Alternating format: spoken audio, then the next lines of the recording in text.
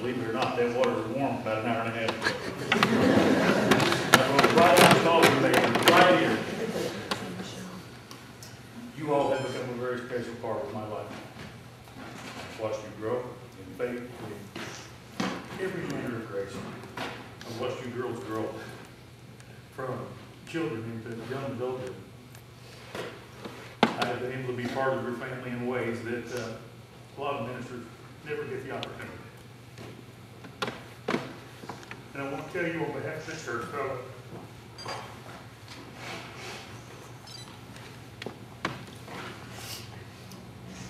my friends, I want you to once again hear the words of our Lord and Savior Jesus Christ, who said that all authority on heaven and on earth has been given to me.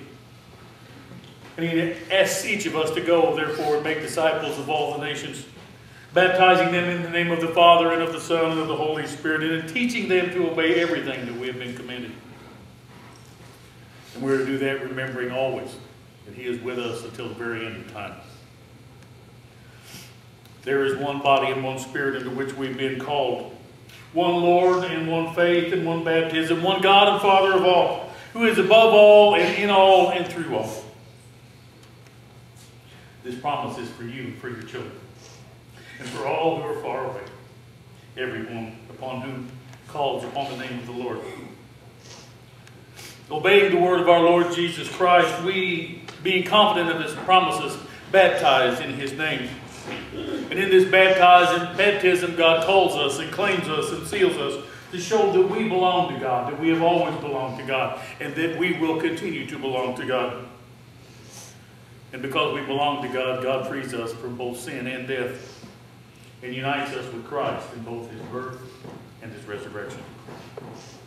By water and by the Holy Spirit, we are made members of the church, the body of Christ, and we are joined to the ministry of love and peace and unity. Let us, each and every one who have gathered here this morning, remember with joy our own baptism as we celebrate with Brian and Michelle and the girls.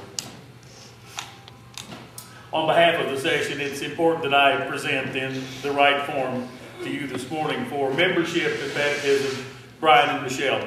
Brian and Michelle want to become members of the church, and they have been affirmed by the session of Hemingway. They've been affirmed a long time before that.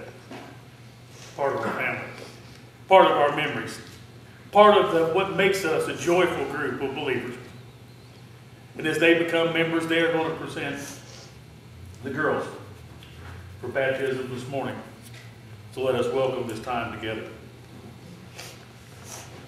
Brian and Michelle, is it your desire to become members of this church and unite with this body? Yes. Do you desire to be baptized? Yes. Relying on God's grace, do you promise to live the Christian faith and teach that faith to your children? Yes. Do you promise to prayer and example to support and encourage one another to be faithful Christians as this church encourages you? Yes. Do you, who are the members of this church, promise to guide and to nurture Brian and Michelle by word and deed, in love and with prayer, encourage them always to know and follow Christ and to be faithful members of this church? If you do, signify it by saying we do. We do. Brian and Michelle, through baptism, we enter the covenant that God has established. And within this covenant, God gives us new life. God guards us from evil. And God nurtures us in love. In embracing this covenant, we choose who we will worship by turning from evil and turning to Jesus Christ. As God embraces you now within this covenant, I ask you to reject sin, to profess your faith in Jesus Christ, and to confess the faith of the church, the faith in which we baptize. Do you trust in the gracious mercy of God? And do you turn away from the ways of sin and renounce evil and its power in the world? Yes. Do you turn to Jesus Christ and accept Him alone to be your Lord and Savior, trusting in His grace and in His love? Yes. Will you be Christ's faithful disciple, obeying His word and showing His love to the world? Yes.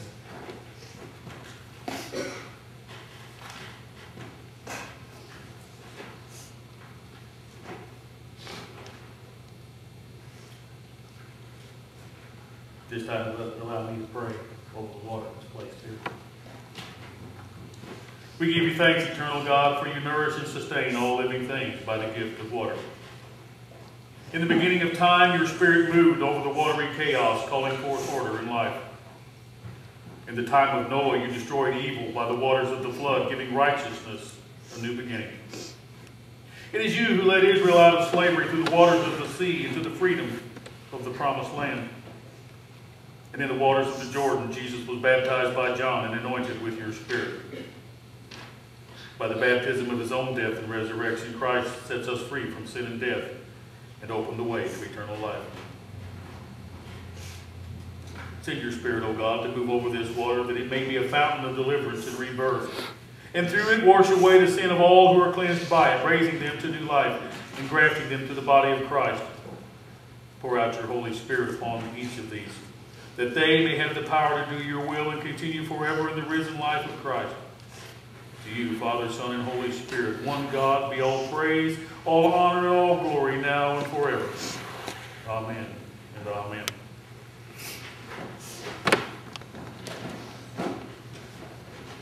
Again, my honor to baptize you. My brother, in the name of the Father, and of the Son, and of the Holy Spirit. And you, my sister, in the same name of the Father, and of the Son, and of the Holy Spirit. And for you girls, I baptize you now in the name of the Father, and of the Son, and of the Holy Spirit. I pray, O God, that your blessing would rest upon these who have gathered here this morning. That your love would touch them and encourage them to move forward with power and with authority and with a confidence that they are loved beyond all measure. And I pray, O God, that you would grant them your peace. That that peace would encourage them even in hours of uncertainty. Helping them to know that you love them and that your promises will not end. Help them to know that they are loved not only by you, but by those who surround them this morning. And that love will transcend all of the things that tend to separate humankind from one another. Bless them. In the name of your Son, and empower them through your Holy Spirit, that they might be examples of your love and mercy in our community, in your church, and in your world. And for all this, I'll give you eternal thanks and glory now and forever. Amen and amen. My friends, let me introduce to you our newest official brothers and sisters, Alyssa and Carissa Brian and Michelle. Let us give thanks to God.